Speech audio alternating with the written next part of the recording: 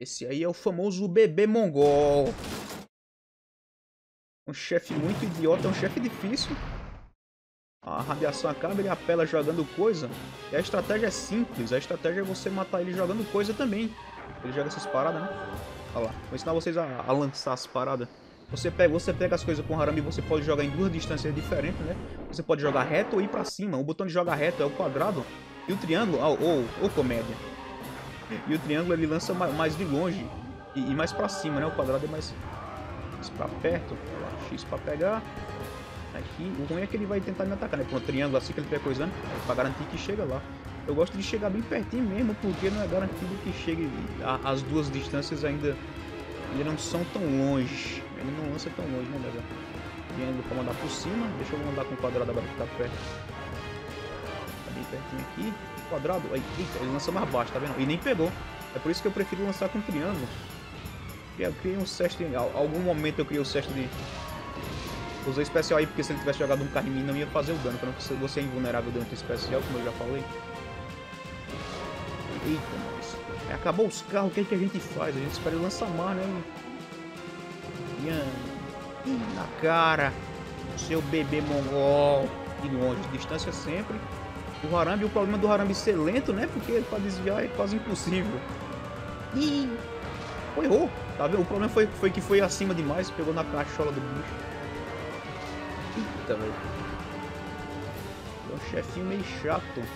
O negócio é não morrer pro bicho, né? Porque essa fita, pra começar a gravar, eu que, vou ter que perder outro espaço de, de outro arquivo de gravação pra garantir que se perder, volte a gravar dentro fica salvo, né? Tome. Morrer para o bebê mongol aqui não, que não é interessante para ninguém. Ô babacão. Tine. O ruim é que ele quebra, pô, deixa o meu carro, cara. Você tá lançando pra mim, eu quero lhe devolver e você fica aí quebrando essa roça. Agora ele. Cara, dá e tira no mesmo segundo, para, cara. Ele vai me escutar já já e atender as minhas pressas.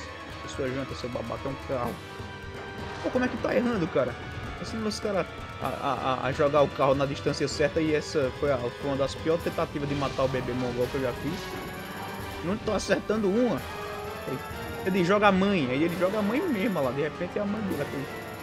Porque o bebê mongol, o, chefe sempre aconteceu isso, né? Tipo de, de, de pegarem alguma coisa de, de, radiação. Ele pegou um dos genomas de, de aprendizado. Ele pegou o genoma de aprendizado que o cara vai colocar no harame mais tarde. É por isso que ele, ele é um desses bebezinhos aí que ficou. Ele é um desses gordinhos que ficou mais forte por causa do genoma que ele pegou. Opa!